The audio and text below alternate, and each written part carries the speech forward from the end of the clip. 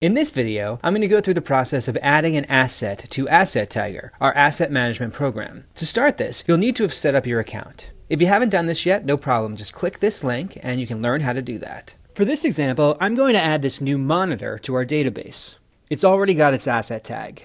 As a side note, even if you're not using a scanner, we often recommend just going ahead and getting the barcode on the tag. It's free to add, and if you ever decide to upgrade your system, it'll save you the cost and bother of replacing all your tags.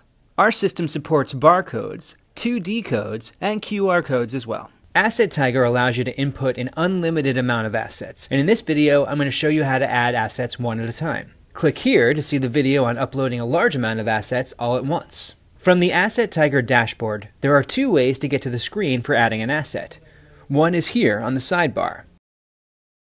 The other is here at the top. Either way. The only required fields here are the description and the asset tag ID. I'm going to fill those in now.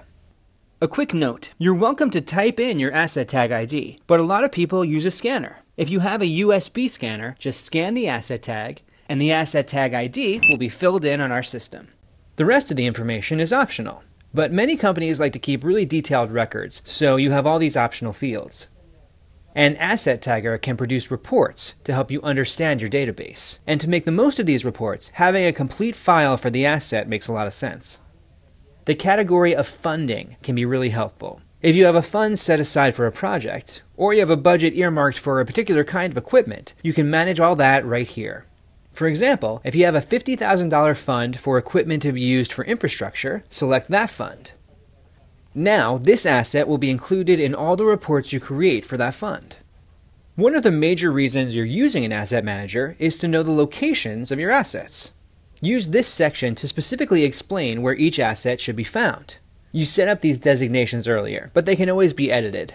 Just go to the Setup tab on the left, or click New to add a new designation. The monitor will be used in the Brooklyn office, in the main office space, it's in the category of computer equipment to be used by the customer service department. Again, being specific here means that you can make use of all of the optional reports as well. Here you can add a photo. You can either pull one from your own computer or use our file of stock images. I'm going to look through for a picture that looks most like my monitor. There's also a search option if you want to find something specific. Here, this one looks perfect. Another reason that Asset Tiger is the best asset management software available online is this section on depreciation. Add the depreciable cost here. The life of the asset in months, the salvage value of the item if there is one, the date acquired, and then choose the depreciation model that your company uses. Straight line is the most common. When you take the time to add the values for depreciation, you can, with just a few clicks, know the actual value of your collection of assets at that very moment. This can be a huge help for budgeting, and also for taxes and insurance purposes. When you're finished, just select Submit. You'll be taken right to your list of assets. To take a closer look, just click View on the right side. And if you ever need to edit the information, just click Edit up here, and you'll be taken back to the page we were just on. On the bottom of this page, you'll see a variety of tabs to display information and opportunities to add even more. In the Depreciation tab, you'll see not only the graph, but specific numbers telling you the asset's value over time.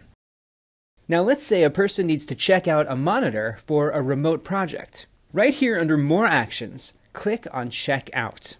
Then simply assign the asset to a person, and then click Checkout. As you can see, the status now says checked out. When Marco returns the item, go back to More Actions and choose Check In. Click to confirm, and the status reads Available. And any events, like this check-in and check-out, will be here in the Events tab. If you want to attach a document, like instructions or warranty, you can do that right here at the Documents tab. That way you never have to worry about losing the hard copy of that document. And that's just a few of the dozens of asset management features available on Asset Tiger. Don't hesitate to give us a call or drop us an email if you have a question. We have a large staff of customer service reps who are ready to help. Follow this link on the left here to see ways to contact us.